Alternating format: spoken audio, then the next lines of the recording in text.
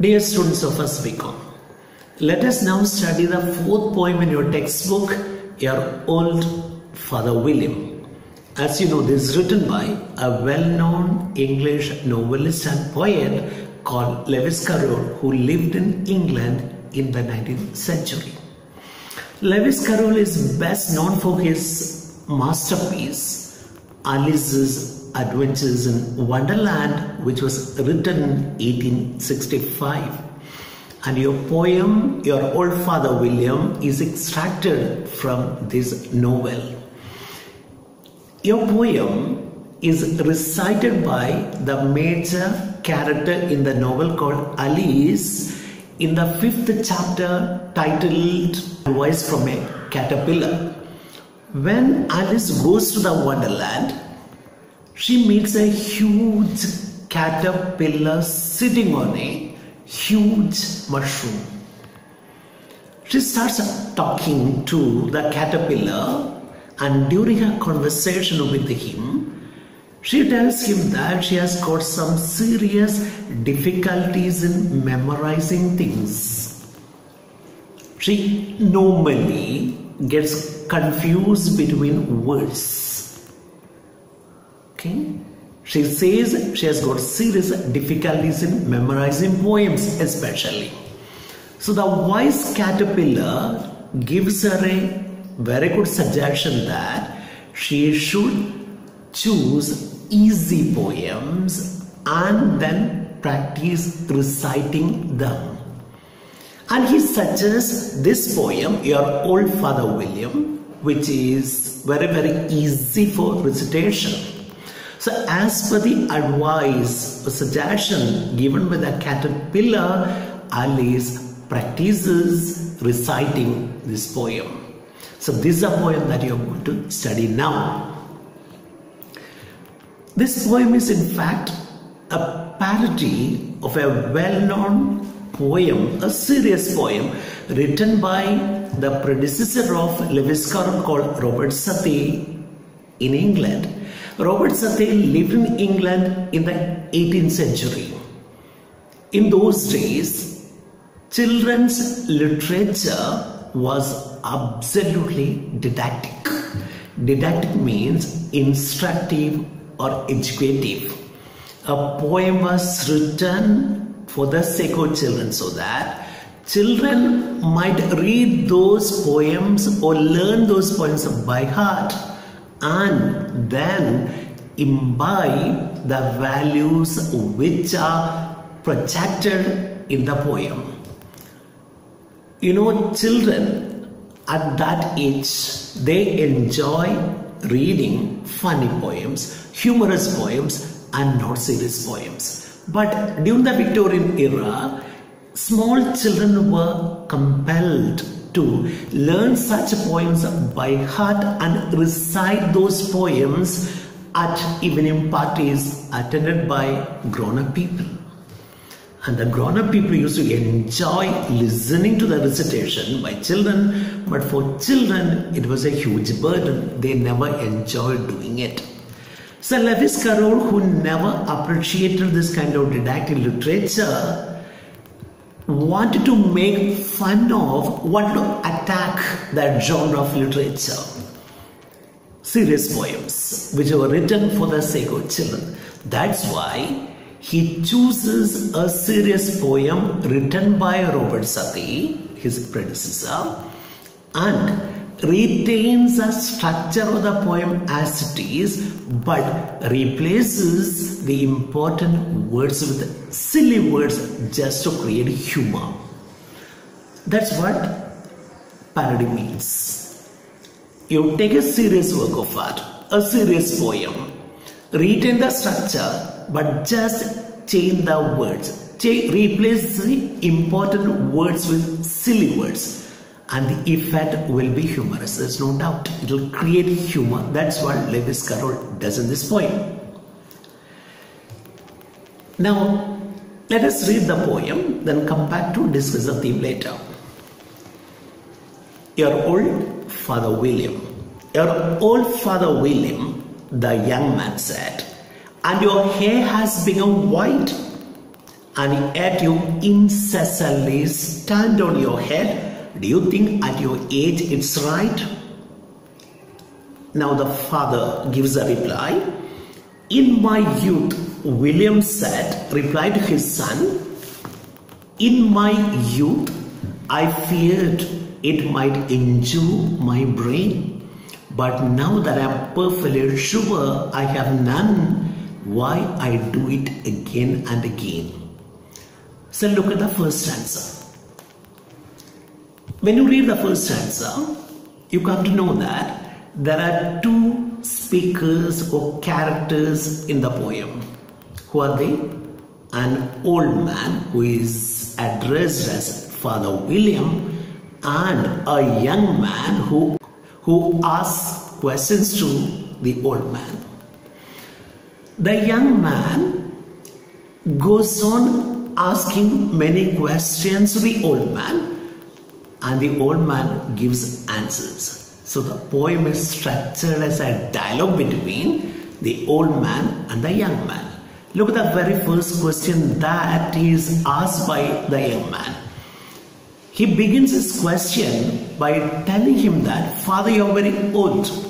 Your old father, William, the young man said, presumably his son, your hair has turned very white. So he's telling his father, Father, your hair has turned white, yet still you stand incessantly on your head. Incessantly means continuously, without a break. So, what does this old man do? Every time when he does exercises, he stands on his head. This surprises or astonishes the young boy who is not able to do it. So he asks his father how he can do this difficult exercise of standing on one's head at his age. Look at this old man. He is old and his hair has turned white. Still, at that age, he is standing on his head. Now, this is something shocking to uh, the young man, so he asks his father how he can do this at his age. Now look at the reply given by the, by the old man. In my youth, now father is replying, William is replying. In my youth, he replied to his son, I fear that it might injure my brain. See, when I was your age, when I was a young boy like you, I never did this exercise. I was scared of doing it because I thought that that might injure my, damage my brain. So I never did it at that time. But now it is easy for me to do it because since I am weak now, since my brain has become very weak, no damage can be done to it. So I'm not scared of causing any damage to my brain because I'm an old man. I'm going to die after some years. So I'm not scared of anything. So courageously, confidently, I can do this exercise. So the son asks a question and the question gets answered by his father, William. Look at the second stanza now. You're old, said the youth, as I mentioned before, and you have grown uncommonly fat. Yet you turned back, turned a back somersault in at the door. Pray, what is the reason for this? So the second question begins again with the statement that Father, Mr. William, is an old man. The first question also begins with the same statement. So the son begins to ask the second question by telling him that he is very old. Your old father William, as I mentioned before, moreover, you have grown most uncommonly fat, uncommonly, extraordinarily fat, stout, plump. So number one, you are very old. Second, you are very, very fat, stout to look at. Yet, what do you do? You turn a back somersault. What is somersault? It's an acrobatic movement, or it's a jump in which you turn your body over completely or 360 degree. Children find it easy to do it. I don't think old man can do this. But Father William is so strong that he's so courageous that fearlessly he takes a somersault. And that too he turns a back somersault. So the son gets surprised to see this. So he's asking his father, Dear father, your hair has turned white, you're very old, and you're very fat, very stout to look at. Then how can you do this incredible exercise at your age?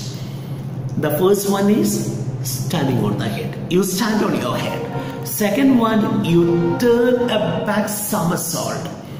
You jump backward, turning your body over completely, which I can't do it today. So, how do you manage to do this? Now, Father William gives a reply. What is his reply? He tells you, Oh, my dear child, in my youth, said the sage, sage here, the wise old man, Father William. In my youth, said the sage, as he shook his grey locks, grey, white locks hair, hair.